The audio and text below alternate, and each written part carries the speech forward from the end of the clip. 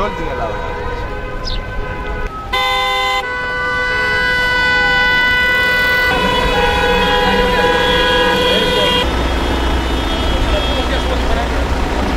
Ο αγώνας τώρα θα δικαιωθεί. Που μας έχουν πει τόσα ψέματα.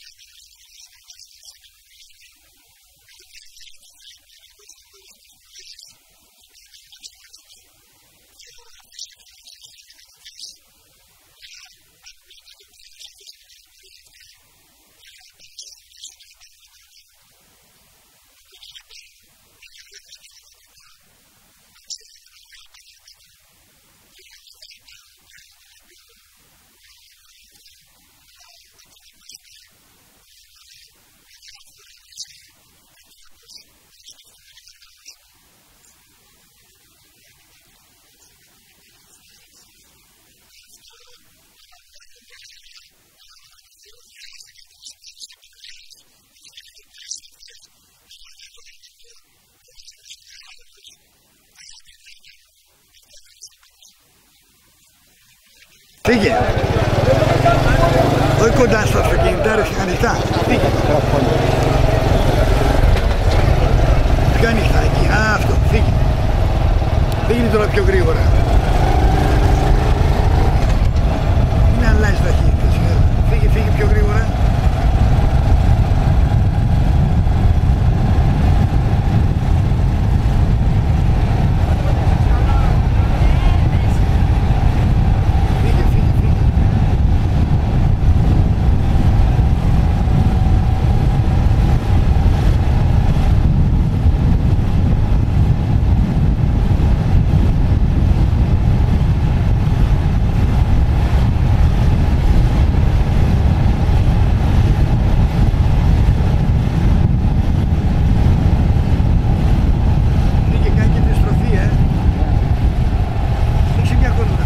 hee